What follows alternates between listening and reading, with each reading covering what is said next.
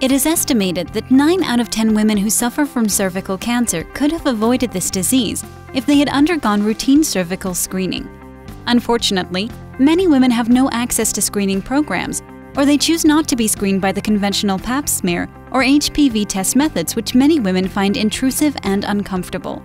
Even more troubling, for many women who do get screened, they will have to wait too long to get their results, and sometimes cannot be contacted to receive follow-up treatment.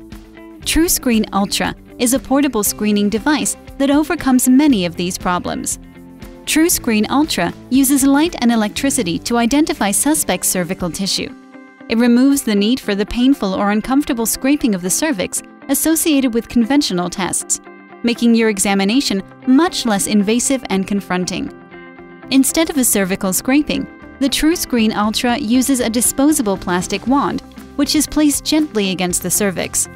Optical and electrical measurements are then used to identify likely precancerous or cancerous tissue. TruScreen Ultra's accuracy is comparable to existing methods, and your result is provided immediately, enabling your care to be managed in the one visit.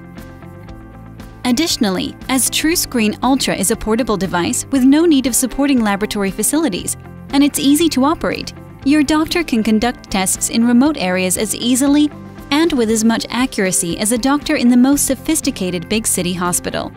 Visit our website, www.truscreen.com, and learn more about TruScreen Ultra, the affordable technological revolution which is changing the way women are screened for cervical cancer.